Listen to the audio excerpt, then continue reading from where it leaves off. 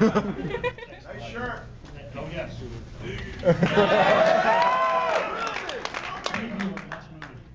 Thank you so much for coming down, and uh, thanks for being here, and being awesome. I'm very excited. You guys have to understand, you know, that when you make a movie, which the tradition is, you kind of get in a limo and you go out opening night, and you go from theater to theater. How's it playing? You talk to the, you know, theater owners and the ushers and stuff, and you go in. The night this opened, 1987, we went out, first theater, we walked in, there was about 12 people. they were liking it. there was 12. Another, and then out in the valley, went someplace, and there was like one guy up here, and three back there, and it was really depressing. so uh, the moral of the story, though, is it really means a lot to me that you guys uh, uh, react the way you do. Thank you very much.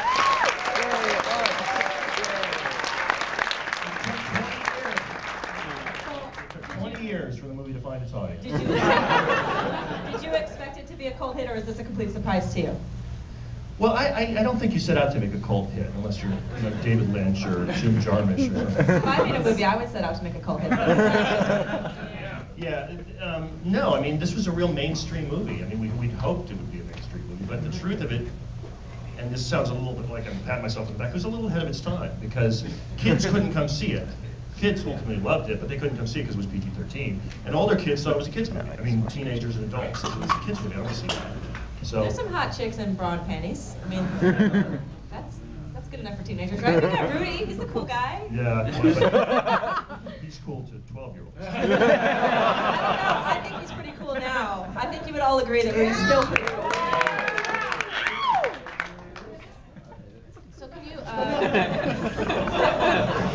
Yeah, Ryan, Ryan Lambert, who plays Rudy, has actually got a rock band now up in San Francisco, so he's proven to actually continue to be cool. You know, he asked to come tonight, he goes, I'll see if I can make it. Smoking this, you know, clove cigarettes. um, can you talk a little bit about uh, the casting process and how you uh, put together the, the most awesome cast that you did? Uh, well, Peter Hyams was my producer. We, we had a, a, we had a somewhat contentious relationship. He was a real father figure to me, and, and ultimately, I think uh, movie really benefits from him having taken under his wing. But a lot of the decisions were him like, I think this is going to be great. Uh, okay. but to his credit, in some cases, I, I did the same thing and said, uh, you know, here's who I want, and go, good. Um, so there wasn't a lot of disagreement. We, the important thing with the kids was we had to we had to like them and we had to believe them. I hate movie kids. You know, you know the ones I'm talking about in commercials. Hey, Dad! and you know that they're going to live a horrible life. Just drugs. Something really bad. Uh, how, how was it working? You had working with children and animals. Uh, how, how was that? You forgot special effects. And special effects. When you have, you know, real, I mean, we had a very professional crew. It's, it's a breeze, you know, really, if, if everybody knows what they're doing. Uh, I have, I have Not kind a of. very funny answer, but Truthful answer. Um, I have kind of a slightly perverted question. Um, Perverted? Perverted a little bit, yeah. Uh, so they say in the beginning that uh, the movies, uh, the were- werewolf has to wear pants in the movies made in the 40s to ho- show to hide his wolf dork. Um, but this movie was made in the 80s. So why was there no wolf dork? it's interesting because he does, he comes back to, the pieces uh, come back together, and he's got his pants back on. Maybe no one else ever thought of that, but I was noticing it this time that he was wearing pants. So. Well, let's see if Benicio del Toro shows his.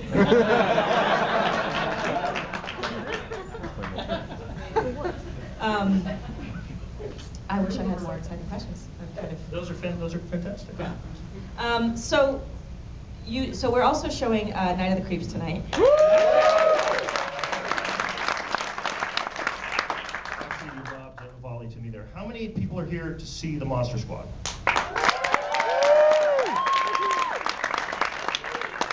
And how many are here to see Night of the Creeps?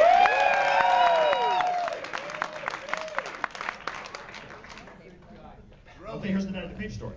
We couldn't go out in a limo to the theaters in LA to see it play because it did not play in LA. Yeah. Actually went to Times Square. I got to see the, you know, the real shit-kicking, late, you know, late night. Whoa! Don't go in that door. I think this, that's what this is going to be. see, the, uh, the resurrection of this movie started about two years ago at the Alamo Drafthouse, which this is a very similar crowd. You guys are awesome. The difference at the Alamo is you can drink beer.